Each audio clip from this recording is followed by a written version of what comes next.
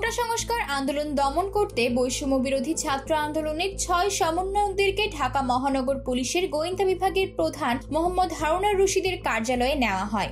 DB হেফাজতে থাকা অবস্থায় বিভাগের প্রধান হারুনের নির্দেশে সমন্বয়কদের জোর করে খাবার টেবিলে বসিয়ে ভিডিও করা হয়। সমন্বয়কদের ছেড়ে দেওয়ার আশ্বাস দিয়ে পরিবারকে ডেকে তেরো ঘণ্টা বসিয়ে রাখা হয় এবং আন্দোলন প্রত্যাহারের মিথ্যা ঘোষণা দেওয়া হয় মিডিয়াতে।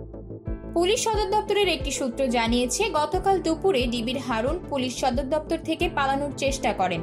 তিনি পুলিশ সদর দপ্তরের পূর্ব পাশে থাকা সিটি কর্পোরেশনের সীমানা দেওয়াল টপকে সেদিকে চলে যান। পরে তিনি নর্মাল পোশাক পরে জনসাধারণের বেশে এখান থেকে বেরিয়ে যান। হারুন পুলিশ সদর দপ্তর থেকে বের হয়ে সোজা চলে যান হজরত শাহজালাল বিমানবন্দরে। সেখান থেকে পালানোর চেষ্টা করেন তিনি। কিন্তু ব্যর্থ হন। এ সময় সেনা সদস্যরা তাকে আটক করেন।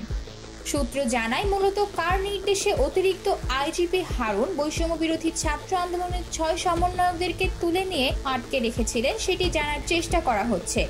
তবে কবে ছাড়া হবে জানতে চাইলে বলেছিলেন ঊর্ধ্বতন কর্তৃপক্ষ, যখন নির্দেশ দিবে তখন ছাড়া হবে। সেই ঊর্ধ্বতন কর্তৃপক্ষকে সেটিও হারুনের কাছ থেকে জানার চেষ্টা করা হচ্ছে। আতকিয়া মাইমুনা, বার্তা টোয়েন্টি ফোর।